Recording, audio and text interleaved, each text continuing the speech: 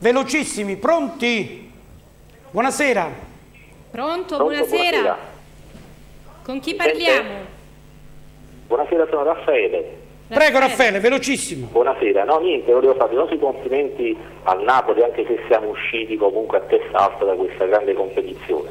E poi volevo fare una provocazione a Tascone, Ecco. eh, se l'accetta. Secondo te eh, Mazzarri sul 2 a 1 a un quarto d'ora alla fine se metteva Hitler a posto di, voglio dire, se toglieva Amsic e metteva Zemalli e dopo 5 minuti buttava dentro Fernandez per tamponare un po' lì, il Napoli a questo punto andava ai quarti.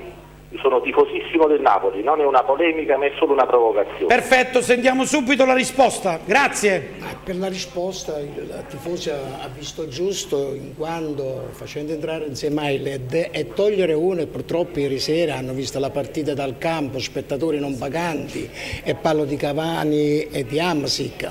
Abbassare una difesa a 4 sarebbe stata una cosa che quando venne che Napoli sul 2 a 1 eravamo qualificati. Non, è- non ha fatto questa...